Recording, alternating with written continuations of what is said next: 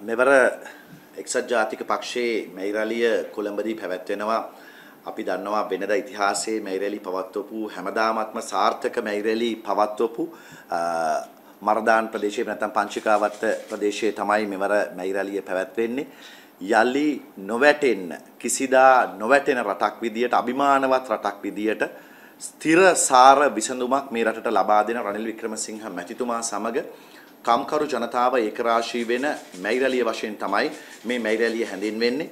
මේ මැයිරැලියට දිස්ත්‍රික්ක හැම දිස්ත්‍රික්කයකින්ම යාපනයේ ඉඳලා මාතර දක්වා හම්බන්තොට ඉඳලා සියලුම දිස්ත්‍රික්කවලින් ජනතාව කොළඹට එන්න සියල්ල සූදානම් කරලා තියෙනවා. බස් රථ වලින් කෝච්චි වලින්.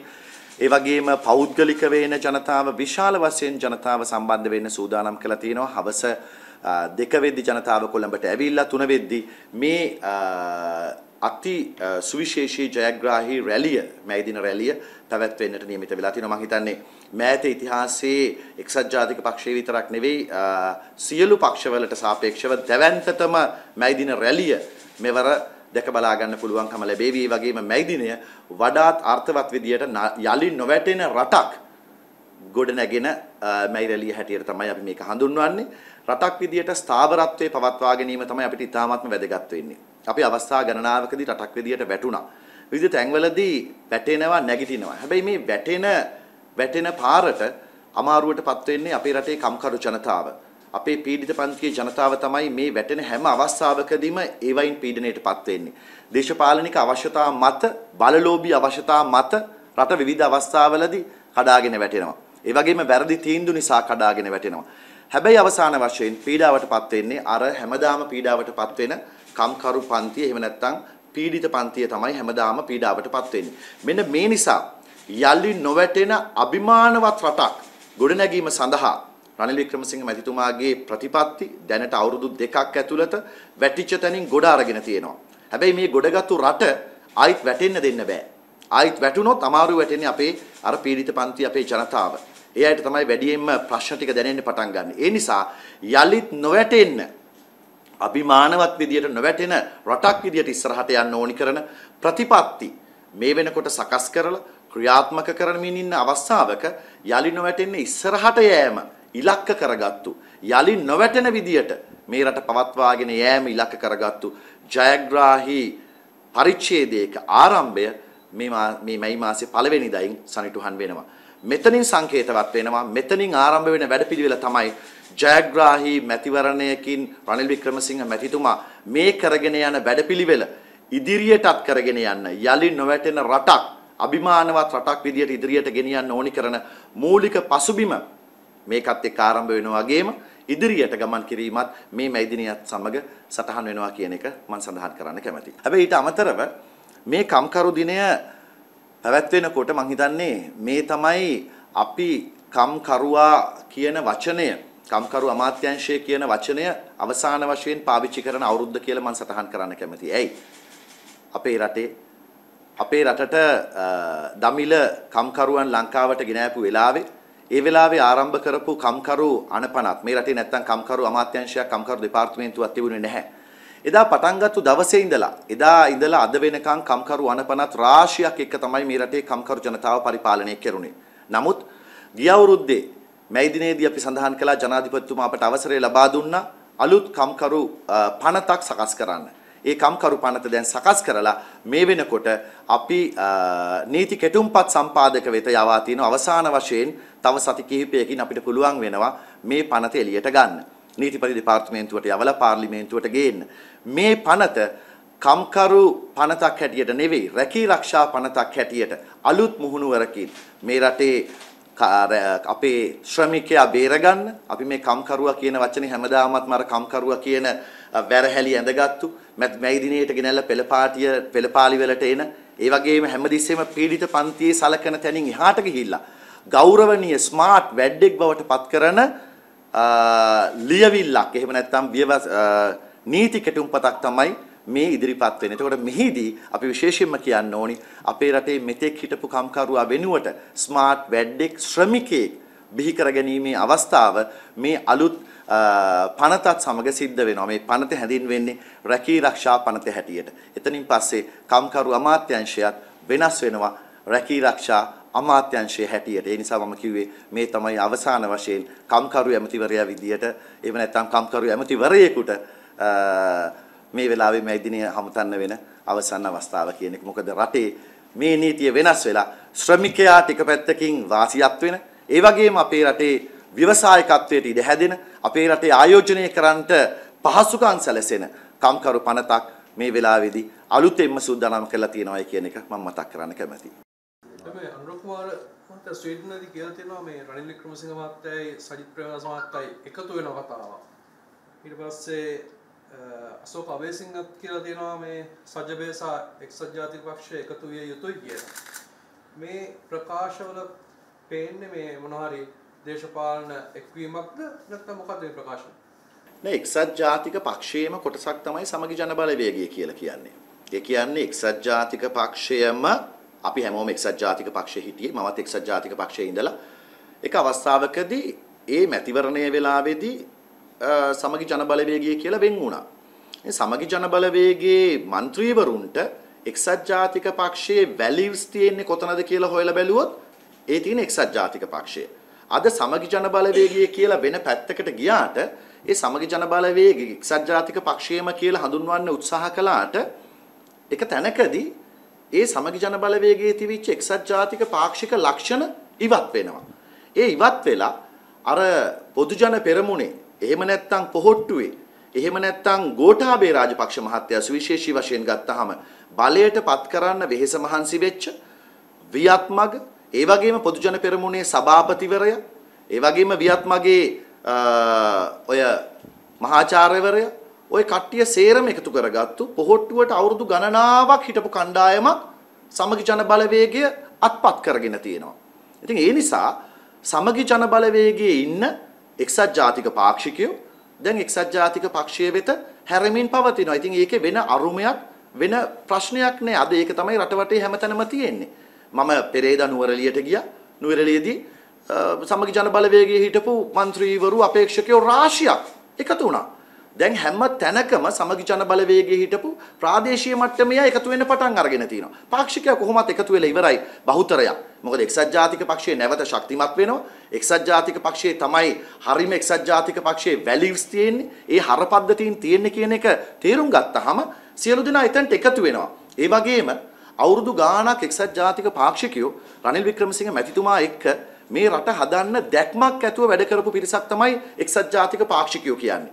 එතකොට කාලයකදී ඇතිවෙච්ච යම් යම් කාරණා නිසා පක්ෂයෙන් අයින් වෙලා හිටියට රනිල් වික්‍රමසිංහ මැතිතුමාට ඒ දැක්ම ක්‍රියාත්මක කරන්න අවස්ථාව හම්බ වෙච්ච වෙලාවේ අර අවුරුදු ගාණක් දශක ගණනාවක් රට හදන්න බොරු කියන්නේ නැතුව ස්මාර්ට් දේශපාලඥයෙක් විදියට ඒ සැලසුම ක්‍රියාත්මක කරන්න අවස්ථාව හම්බෙච්ච වෙලාවේ එක්සත් ජාතික පාක්ෂිකයෝ සියලු වාද ભેද අමතක කරලා ගම්මට්ට මේ මිනිස්සු එකතු වෙන්න පටන් අරගත්තා. දැන් ඊට පස්සේ පළාත් පාලන නියෝජිතයින් മന്ത്രിවරු අපේක්ෂකයෝ එකතු වෙන්න පටන් ගත්තා. ප්‍රශ්නේ තියෙන්නේ Tamanගේ മന്ത്രി ධූරයේ පිළිබඳව තියෙන විචිකිච්ඡාව ඒ වගේ කාරණා නිසා සමගි ජන බලවේගයේ ඉන්න බොහෝ മന്ത്രിවරු තවම ඍජු එකතු වෙන්න සූදානම් වුණේ නැහැ. නමුත් බොහෝ දෙනෙක් මේ වෙනකොට Tamanගේ කැමැත්ත පළ කරලා ඉවරයි. ඉදිරි මැතිවරණයේදී ඡන්දය ඉල්ලන්නේ රනිල් වික්‍රමසිංහ මැතිතුමා යටතේ එතුමා ඉන්න තැනක තමයි ඡන්දය ඉල්ලන්නේ කියන අය බොහෝ දෙනෙක් ප්‍රසිද්ධියත් කියලා තියෙනවා. බොහෝ දෙනෙක් අපිට සනාථ කරලා ඉවරයි. ඒ වගේම තවත් අය බලාගෙන ඉන්නවා. සමගි ජනබලවේගය විදියට අපි කැමති නැහැ ඒක කඩලා එන්න අපි කැමති සමගි ජනබලවේගෙත් එකතු කරගෙනම මෙතනට එන සියලු දෙනාම මෙතනට ඇදගෙන එන්න අපි කැමතියි කියලා മന്ത്രിවරු යම් බලපෑමක් කරනවා අනුර කුමාර කාලයකට පස්සේ කියපු යම් තාක් දුරකට ඇත්ත කතාවක් තමයි ඒක. මොකද අර මම ඊයේත් කිව්වා උමා ඔය දක්වාම බොරු කියලා බොරු කියලා දැවැන්ත හිල් ගැන කතා කරලා උමාවෙන් තමයි අනගත්තු ලොකුම අනගනිල්ල අනගත්තේ අනුර කුමාර දිසානායක අනුර කුමාර කියන්නේම බොරු හිලක් කියන එක ඔප්පු කරේ. මාලිමාව කියන්නේම බොරු හිලක් බොරු හිලක් කියන එක ඔප්පු කළේ උමාවෙන්. එතකොට ඒකේ යම් සත්‍යතාවයක් තියෙනවා සමගි ජන බලවේගයේ බහුතරයක් පාර්ශව දැන් අපි සමග සාකච්ඡා කරමින් ඉන්නවා කොයි විදියටද එකතු වෙන්නේ කියලා. ඇතමෙක් කැමති පක්ෂීය විදියටම එකතු වෙන්න. ඇතමෙක් කැමති පුද්ගලිකව එකතු වෙන්න. බොහෝ දෙනා අවස්ථාව වෙනකන් ඉන්නවා. බිම් මට්ටමේ ඉඳලා එකතු වෙනවා. ආසන සංවිධායකවරු පහුගිය දවස්වල එකතු වුණා. තවත් ආසන සංවිධායකවරු පිළිවෙලට එකතු වෙයි. බලන්න මේ මාසේ අපි කිව්වා පළවෙනි දවයින් පස්සේ වැඩ පිළිවෙල පටන් ගන්නවා කියලා. ඉතින් ඒකට සූදානම් වෙන්න පුළුවන්. බහදිනින් යන ජනතාවට මේ කිලෝ 10 බැගින් සහල් දැන් මේ ගැටලුවක් තනින් තන මතුවෙමින් තියෙනවා ගුල්ලෝ ඉන්නෝ කියලා කතාවක් මාධ්‍ය වාර්තා වෙමින් තියෙනවා ඒක ගැන මොකද කියනවා මම කියන්නේ මම ඒක දැක්කා. ඒ සහල් ලබා දීම සම්බන්ධයෙන් ඒ සහල් ලබා දෙන්නේ රජය විදියට අපි ඒකේ පැහැදිලි කරලම කියන්න ඕනි අපි රජයක් විදියට වැටිච්ච රටක් ගොඩගත්තු ආණ්ඩුවක්. මේ වැටිච්ච රටක් බිමින් හාන්සි වෙලා පැදුරෙනුත් බිමට වැටිච්ච රටක්. හැබැයි අවුරුදු දෙකක් ඇතුළත හාල් තියා, තෙල් තියා, ගෑස් තියා, ලයිට් නැතුව, කන්න බොන්න නැතුව වැටෙන්න ගියපු රටක්. වැටිලා තිබිච්ච රටක්. ඒ රට ගොඩ ගත්තා.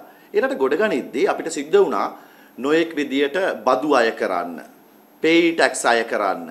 ඒ වගේම යම් යම් මිල ඉහළ දැමීම් කරන්න. මොකද රටේ ආර්ථිකය ශක්තිමත් කරගන්න ඕන වුණා මුලින්ම. ඒ මුලින්ම ශක්තිමත් කරපු අවස්ථාවේදී රටේ සල්ලි තියෙන මිනිස්සුන්ටත් සල්ලි නැති මිනිස්සුන්ටත් එකම මිලවල් තමයි හැමදේම තිබුණේ. ඒ කියන්නේ රටේ පවතින්නේ තෙල් ගහන්න ගියොත් අපි හැමෝම එක මිලට ගහන්නේ. හැබැයි සහන ආධාර මිලට තෙල් තිබුණේ. විදුලි බිල ගත්තොත් විදුලියට සහන ආධාර දෙනවා. හැබැයි සල්ලි තියෙන මිනිහත් විදුලිය ගත්තේ සහන ආධාර මිලට. ඉතින් මේ ක්‍රමේ නවත්තලා විදුලියට નિયમિત මිල, තෙල් වලට નિયમિત මිල, ඒ ආදී විදියට රටේ નિયમિત මිලට ඒ ආයතනත් ලාභ ලබන්න පුළුවන් විදියට ඒවා ව්‍යාපාර විදියට පටන් ගන්න පුළුවන් වපසරිය අපි ආණ්ඩුවක් විදියට හැදුවා.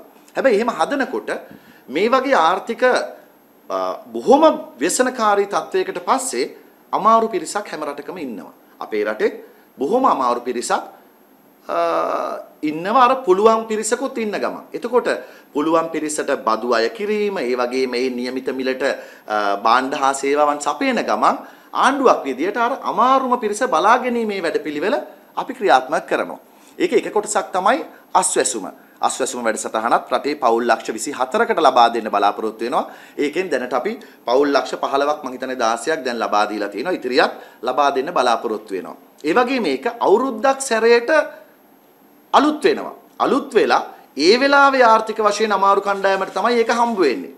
එතකොට මේ කාර්යය සිද්ධ වෙන අතරවාරයේදී දැනට ඒත් මේ අස්වැසුම ලැබෙන්නේත් නැති අස්වැසුම පිළිබඳ යම් අසාධාරණ තියෙන මැසිවිලි තියෙනකොට යම් පිරිසක් ඉන්න පුළුවන් මේ වෙලාවේ අතරමැද තත්වයක. තාම අස්වැසුමත් ගන්න විදියක් නැහැ. සමෘද්ධියක් නැහැද? අන්න ඒ වගේ අවස්ථාවක ඉන්න කණ්ඩායම රැක බලා ගන්න තමයි මේ හාල් කිලෝ 10 වැඩසටහන ජනාධිපතිතුමා ක්‍රියාත්මක කරන්නේ මේ මාසෙත් ලබන මාසෙත්. එතකොට මේ වගේ සුවිශේෂී වැඩසටහනක් ක්‍රියාත්මක කරනකොට කතා කියන එක ගැන අපි අමුතුවෙන් කලබල වෙන්න ඕනේ නැහැ. මට කනගාටුව තියෙන්නේ වගකවිය යුතු නිලධාරීන් ඒ වගේ දේවල් ඇවිල්ලා කියද්දි ඒ නිලධාරීන්ගේම වගකීම තමයි ජනතාව අතරට ඒ වගේ දේවල් යන්න ඉස්සෙල්ලා පරීක්ෂා කරලා බලන එක. රනිල් වික්‍රමසිංහ මහත්තයාට ඇවිල්ලා කඩෙන් ගන්න තියෙන හාල් එක එහෙම නැත්නම් ජාත්‍යන්තර ආහාර සංවිධානයෙන් හම්බෙන හාල් ටික ජනාධිපතිතුමාට ගිහිල්ලා හාල් වල ප්‍රමිතිය බලන්න බෑනේ. ඒ හාල් වල ප්‍රමිතිය බලන්න නම් ඒකට ඒ ආයතන තියෙනවා. සෞඛ්‍ය ආයතන තියෙනවා. PHI මහත්වරු ඉන්නවා. ඒ අය තමයි බලලා කියන්න ඕනේ. එහෙම නැතුව ජනතාව කලබල කරන එකවත් ඒව ජනතාව අතරට ගියයින් පස්සේ කියන එකවත් යන්න ඉස්සෙල්ලා හෝ ගියප් එක මෙහෙම එකක් වෙන්න පුළුවන් කියලා. බිල්ලමවන එක නෙවෙයි හරි වැඩේ. දේශපාලඥයිනෝ දේශපාලඥයන්ගේ වගකීම නිවැරදි ලෙස ඉෂ්ට කරන්න ඕනි වගේම නිලධාරීනොත් නිලධාරීන්ගේ වගකීම හරි විදියට ඉෂ්ට කරන්න ඕනි. එහෙම නොකර මේ මේක දේශපාලනය කරන්න යන එක වැරදි මේ වගේ මිනිස්සුන්ට උදව් උපකාර කරන්න හදන වෙලාවකදී. ඒ තුලත් මොන හරි දේශපාලන කුමන්ත්‍රණයක් තියෙන්න පුළුවන්. තියෙන්න පුළුවන්. ඉතින් එහෙම නැහැ කියන්න බෑනේ. එහෙම දේවල් හැම වෙලාවකම සිද්ධ වෙනවනේ. ඒ කියන්නේ රටක් විදියට මේ වගේ රටේ අති විශාල සංඛ්‍යාවකට සහනයක් සැලසෙනකොට ඒක දේශපාලනික වශයෙන් කෙනෙකුට දරාගෙන ඉන්නත් බැරි වෙන්න පුළුවන්. මේ රට ගොඩනැගෙන එක බලාගෙන ඉන්න බෑනේ බොහෝ දෙනෙකුට. උදාහරණයක් හැටියට කිව්වොත් දැන් රුපියල ශක්තිමත් වෙනවා. දැන් මම දැක්ක ස්වර්ණවාහිනිය නිවුස් එක දාලා තියෙනවා. මම දැක්ක දෙරණේ නිවුස් එක දාලා තියෙනවා. මම දැක්ක හිරු එකේ දාලා තියෙනවා. මම දැක්ක රූපවාහිනිය ITN එකේ හැම එකම රුපියල ශක්තිමත් වෙනවා කියලා ගැහුවා. ඒ ගහලා ඒක සෝෂල් මීඩියා එකේ දැම්මා. සෝෂල් මීඩියා එකේ දැම්මහම උත්තරේ මොකද්ද? රුපියල ශක්තිමත් වෙනවා ඩොලරේ වැටෙනවා කියලා කිව්වහම හැම තැනම කමෙන්ට් ටික මම ටිකක් ඕනකමින් කියවගෙන ආවා මේ වාහනෙන් මේ දවස්වල මේ රටවටියේ ජයගම ශ්‍රී ලංකා යන එන අතරවාරයේදී හැම එකේම කියන්නේ ඡන්දේ නිසා රුපියල ශක්තිමත් වෙනවා. එතකොට ස්වර්ණවාහිනිය දාලා තිබුණ රුපියල අඩුවීම නිසා බඩු මිල අඩු වෙයි. රුපියල ශක්තිමත් වීම නිසා බඩු මිල අඩු වෙයි කියලා. ඒකට දාලා තිනවා ඒ කියන්නේ මේ බඩු මිලත් එහෙමනම් මේ ඡන්ද නිසා තමයි අඩු කරන්නේ. එහෙම නැත්නම් රුපියල අඩු වුණාම කොහොමද වෙන්නේ? කෝච්චියට තියලාද? මං කියන්න කැමති රුපියලේ අගය ශක්තිමත් වීම කියන එක ඩොලරය අඩු කරනවා කියන එක ඡන්ද එනවට කරන්න පුළුවන් නම් අපි හැමදාම ඡන්ද තියමු. අපි කැමතියි. මොකද එතකොට අපිට මේ රුපියල ශක්තිමත් කරගන්න ඩොලර් එක අඩු කරගන්න රටේ බඩු මිල අඩු කරන්න රටේ සංචිත ටික වැඩි කරගන්න කොච්චර දේවල් කරන්න පුළුවන්ද?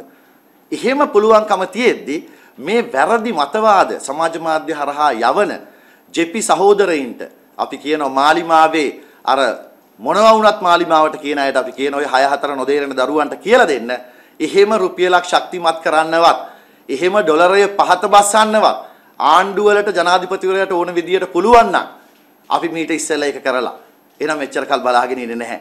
එහෙනම් ඩොලර් එක අපි 170ට ඉක්මනින්ම අඩු කරනවා. එහෙම කරන්න පුළුවන් කමක් නැහැ. මේ මහා දැවැන්ත පරිශ්‍රමයක් යොදලා මේක කරන්නේ. ඒක කරන්නේ රටේ යහපත වෙනුවෙන්. හැබැයි ඒකේ හොඳ දකින්නේ නැතුව ඒකත් ඡන්දයක් කියලා කියනවනම් බොහොම කනගාටුයි.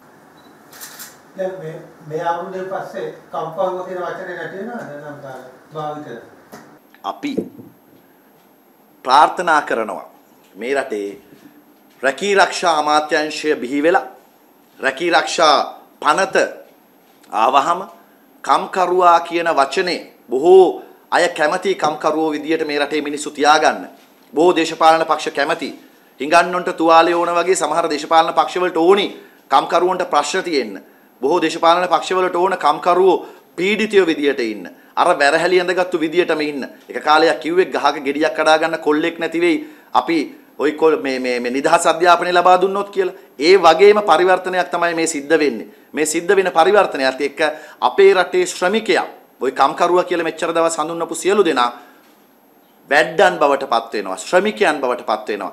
ඒ අයටත් ගරුත්වයක් හම්බ වෙනවා. ගරුසරු කියන වැඩසටහන යටතේ අපි මේ පනතෙන්ම හම්බ වෙනවා ඒ අයට බලතලයක්. ඒ වගේම ඔවුන්ගේ බලපත්‍ර ක්‍රමයක් ඇති වෙලා ඔවුන්ට ගරුත්වය ඇති වෙලා dignity of labor කියන එක මේ රටේ තිබුණෙම නැහැ. අපේ රජයේ සේවකයෝ ඉන්නවා පෞද්ගලික අංශයේ සේවකයෝ ඉන්නවා හැබැයි අපේ රටේ අවිධිමත් කියලා හඳුන්වපු ක්ෂේත්‍රයට තමයි මාධ්‍යවේදීන්ගේ ඉඳලා ප්‍රාදේශීය මාධ්‍යවේදීන්ගේ ඉඳලා පෙරපාසල් ගුරුවරියගේ ඉඳලා සියලු දෙනා අහු වුණේ මේක තමයි මිලියන 5ක 6ක දැවැන්ත ශ්‍රමික පිරිසක් ඉන්නේ එතන. ඒ පිරිසට අපි ගරුත්වය ලබා දෙනවා විතරක් නෙවෙයි ඔවුන්ට බලපත්‍ර ක්‍රමය හඳුන්වා දීලා ඔවුන්ට ඔවුන්ගේ මණ්ඩල හදාගෙන ඒ හරහා ඔවුන්ගේ තත්වයන් සකස් කරගන්න මේ පනත හරහා සකස් වෙනවා වගේම අපි ලබන සතියේදී කැබිනට් මණ්ඩලයට ඉදිරිපත් තව සති දෙකකින් අපි කැබිනට් මණ්ඩලයට ඉදිරිපත් කරනවා. ජනාධිපතිතුමා අපිට නියෝග කරපු සියලු වැඩ කරන ජනතාවට විශ්‍රාම වැටුපක් හෝ EPF ETF සේවක අර්ථ සාධක එහෙම නැත්නම් EPF හෝ ETF ලැබෙන ක්‍රමවේදය හදන යෝජනාවලිය අපි කැබිනට් මණ්ඩලයට ඉදිරිපත් කරනවා. එතකොට මේ රටේ දවස් ක්‍රමයට වැඩ කරත් කාගේ හරි ගාව වැඩ කරත් බස් රථ එලෙව්වත්, ත්‍රිරෝද රථ එලෙව්වත්, ප්‍රාදේශීය මාධ්‍යවේදියා වුණත්, රක්ෂණ නියෝජිතයා වුණත්, පේන්ට් බාසුන් නැහැ වුණත් හැමෝටම විශ්‍රාම වැටුපක් හෝ EPF ETF. ඒ කියන්නේ තමන් වැඩ කරගන්න බැරි කාලෙට තමන්ට කීයක් හරි හම්බෙන ක්‍රමයක්. මෙච්චර කල් මේ රටේ තිවිච්ච නැති ආරක්ෂණ ක්‍රමවේද. ඒ කියන්නේ OSH කියන එක occupational safety and health කියන එක අපේ රටේ සැලකුවේ නෑ එච්චර. අපි වැඩ කරන්න ගියාම රබර් සෙරෙප්පු දෙක දාගෙන එහෙම නැත්නම් සෙරෙප්පු නැතුව සිමෙන්ති අනන්නේ. එහෙම නැතුව බූට් දාන ඕවරෝල් අඳින, ග්ලව්ස් අඳින්න ඕනි, හෙල්මට් දාන්න ඕනි සංස්කෘතිය මේ නීතිය හරහා අපි ගෙන එනවා. එතකොට මේ නීතිය හරහා ගෙන එනකොට මේ රටේ අර මෙච්චර කල් කම්කරුවා කම්කරුවා කියලා අර ඕන වෙලාවට බෞද්ධ කොඩිය වගේ වෙසක් එකට ගන්න ආයිත් ඇතුළට දාන ක්‍රමේ නැතුව අපේ ශ්‍රමිකයාට ගරුත්වය ඒ වගේම සාරවත්භාවය මෙතනින් පස්සේ හම්බ වෙනවා. ඉතින් එතනින් පස්සේ ඇත්තටම වැඩෝ ඉන්නේ. ශ්‍රමිකයෝ ස්මාර්ට් වැඩෝ ඉන්නේ. ඒ නිසා කම්කරුවා කියන වචනේ ගිය අවුරුද්දේ මම කිව්වේ මේ ඉතිහාස අපේ ලංකාවේ වචන වලින් කම්කරුවා කියන එක ඩිලීට් කරන්න අපිට ඕනි කියලා. ඒ කියන්නේ මේ වචන ඩිලීට් කරනවා කියන එක නෙවෙයි. වැරදි විදියට මම දන්නවා යොහන්ට ඒක නොතේරි නෙවෙයි ඇහුවේ කියලා. ඒ කියන්නේ කම්කරුවාගේ తත්වය අපි උසස් කරනවා කියන එක. අතකර ජනතාවේ පරිවැඩිකේ දෙවසරේත සාකච්ඡාව දැන් අසාර්ථක වෙලා තියෙනවා. ඒකම පාර්ලිමේන්තුවේ වඩිවල සුදේශ් මහත්මයා තිබුණා මේ පළවෙනි දවතුමා ජනතුමා මේ ඒ සම්බන්ධයෙන් ප්‍රශ්න කළා කියලා බලාපොරොත්තු වෙනවා කියලා. මොනවා වෙයිද? අපි මේ වතු වෘත්තීය සමිති මේ සම්බන්ධයෙන් දිගින් දිගටම මතක් කරන්න යෙදුණා. ලංකා කම්කරු කොංග්‍රසය ආණ්ඩුවේම කොටසක් විදියට ආණ්ඩුවත් එක්ක බද්ධ වෙලා ඉන්න කොටසක් විදියට ඒ අය දිගින් දිගටම ඉල්ලීම් කළා. ඒ වගේම ලංකා වතු කම්කරු කොංග්‍රස LJW අපේ එක්සත් ජාතික පක්ෂය හා සම්බන්ධ වෙලා තියෙන අපේ වෘත්තීය සමිති ජාලය විදියට දැඩි ඉල්ලීම් කළා මේ වතු අපේ ශ්‍රමිකයන්ගේ වැටුප් වැඩි කිරීම පිළිබඳව ඉල්ලීම් දිගින් දිගටම කළා. මේකට හේතුව තමයි 2020 දී තමයි අවසාන වශයෙන් වැටුප් වැඩි කරේ. 2020 දී 2020 දී තමයි රුපියල් 1000ක වැටුප් වැඩිවීම සිද්ධ කළේ. දැන් 2024 වැඩි කරන්නම ඕනි වැටුප්. එතකොට මේ වැටුප් වැඩි කිරීම පිළිබඳව මම අවස්ථා ගණනාවකදී දැන් අවුරුදු දෙකක ඉඳලම මේ හාම්පුතුන්ගේ සංගමයට ඉල්ලීම් කළා දැනට ඒ අය ඉවත් වෙලා තියෙන මේ දෙපාර්ශවයේම ඉවත් වෙලා තියෙන සාමූහික givisumට එන්න. මේ සාමූහික givisumට ඇවිල්ලා ඉතිහාසය කළා වගේ වැටුප් සාකච්ඡා කරලා තීන්දුව කරමු. ඒක තමයි වඩාත්ම සෞඛ්‍ය සම්පන්න ක්‍රමවේදය. ඒ කියන්නේ අපේ වැඩ කරන ජනතාවගේ පඩිය විතරක් නෙවෙයි තියෙන්නේ. වත්ත ඇතුලේ තියෙන අනෙත් පහසුකම් මේ සියල්ල පිළිබඳ තීන්දුව කරන තැන තමයි සාමූහික givisuma. එතකොට මේ සාමූහික givisuma පිළිබඳ සාකච්ඡාව ඇනහිටලා තියෙන එක හාම්පුතුන්ටත් හරි නෑ. ඒ වගේම වතු කම්කරුවන්ටත් හොඳ නෑ. ඒ නිසා මම දිගින් දිගට මිල්ලීම් කළා නැවත වතාවක් මේ සම්බන්ධයෙන් එකඟතාවයට පැමිණෙන්නේ. නමුත් වතු හාම්පුතුන් දිගින් දිගටම සඳහන් කළේ නීතිමය වශයෙන් ඔවුන්ට ඒ සඳහා බාධාවක් තියෙන බව දැනට ඔවුන් නඩු පවරා තියෙන නිසා මේ වැටුප් වැඩිවීම සම්බන්ධයෙන් 2020. ඒතර 2020 වැටුප් වැඩිවීමට ඔවුන් නඩුවක් දාලා ඒ නඩුව පරාජයට පත් වෙලා නැවතත් ඇපෑල් මට්ටමේ තමයි තියෙන්නේ අධිකරණය හමුවේ. එතකොට ඔවුන් ඒ නිසා ඒ සම්බන්ධයෙන් මේ නැවත සාමූහික givisumට ආවෙන්නේ නැහැ. ඒ නිසාම මම සාමූහික givisumෙන් පිට ගිහිල්ලා මේ පාර්ශව සමග දෙපාර්ශවය වෙන වෙනම අරගෙන දෙපාර්ශවය එකට අරගෙන කමිටු රැස් කරලා මම සාමූහික givisumක් නැතුව මේ සාකච්ඡා කළා. නමුත් සාකච්ඡාවලදී හොඳ ප්‍රතිඵලයක් නොලැබුණු නිසා මට සිද්ධ වුණා නැවත වතාවක් වැටු පරිපාලක සභා කැඳවීම සිද්ධ කරන්න. එතකොට මේ පරිපාලක සභා කැඳවීම සිද්ධ කරනකොට අර පාර්ශවයෙන් හාම්පුතුන්ගේ පාර්ශවයෙන් අපිට යම් යෝජනාවලියක් ඉදිරිපත් වුණා ඒක කැඳවීමට පෙර. මොකද වුන් පරිපාලක සභාවලට සම්බන්ධ වෙන්නේ නැති නිසා. ඔවුන් සම්බන්ධ වෙන්නේ නැහැ කියලා දැන් අපිට කිව්වා. ඊට කලින් අපිට කිව්වා සම්බන්ධ ඔවුන්ගේ යෝජනාවලියක් අපිට ඉදිරිපත් කළා. ඒ යෝජනාවලිය වෘත්තීය සමිතිය එකඟතාවය පළ කරේ නැහැ. ඒ නිසා අපි පරිපාලක සභාව කැඳෙව්වා. පරිපාලක සභාවලට ඔවුන් සඳහන් කරලා තියෙනවා නීතිමය කරුණු මත ඔවුන් සම්බන්ධ වෙන්නේ නැහැ කියලා. ඒ අනුව අපි ඔවුන්ට අවස්ථාවක් ලබා දීමක් හැටියට අවස්ථා දෙකක් මේ වෙනකොට ලබා දුන්නා. දින දෙකක් ඒ අවශ්‍ය નિયમિત කාලවලට අනුව නීතිමය රාමුව ඇතුලේ ඔවුන්ට අවශ්‍ය කාල වේලාව ලබා දීලා තියෙනවා. දැන් අවෘත්තීය සමිතිය ඉල්ලනවා අවමය 1700ක් මූලික වැටුප විදියට ලබා දෙන්න කියලා. 1700 1800 1900 නොඑක් නොඑක් කියලා තියෙනවා. හැබැයි සාමාන්‍යයෙන් පොදු මතයට අවිලා තියෙන මූලික වැටුප 1700ක් දක්වා වැඩි කරන්න කියලා. හැබැයි වතු හාම්පුත්තු මේ දක්වා කිසිම ආකාරයකින් මේ රුපියල් 1000ට වඩා වැඩි කරන්න එකඟතාවයක් පළ කරන්නේ නැහැ මූලික වැටුප. උන් යෝජනා කරන්නේ ඉන්සෙන්ටිව් එකක් විදියට. එහෙම නැත්නම් ඵලදායිතාව මත ගෙවීමක් විදියට තමයි ඔවුන් තීන්දුව කරන්නේ යම් වැඩිවීමක් සිද්ධ කරනවා නම් ඒ රුපියල් 1000න් වඩා වැඩියෙන් සත පහක්වත් වැඩි කරන්න හාම්පුතුන්ගේ සංගම් මේ වෙලාවේ එකඟ වෙන්නේ නැහැ. ඉතින් මේ වගේ වෙලාවක අවුරුදු 4කට පස්සේ අපේ වැඩ කරන ජනතාවට පඩි වැඩි කරන්න හාම්පුතුන්ට හැකියාවක් නැත්තම් ජනාධිපතිතුමා අවශ්‍ය තීන්දුව ගනීවි. ඒක අපි ජනාධිපතිතුමාට බාර දෙනවා. හෙට දවසේදී අවශ්‍ය තීන්දුව අරගෙන කම්කරු ජනතාව වෙනුවෙන් වැදගත් පණිවිඩයක් එතුමාට ලබා දෙන්න පුළුවන්